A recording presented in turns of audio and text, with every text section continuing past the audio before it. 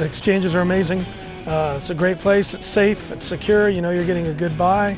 Um, I, I, like it. You're not dealing with the traffic. You're on post. Um, so I, the exchanges are a phenomenal opportunity as well.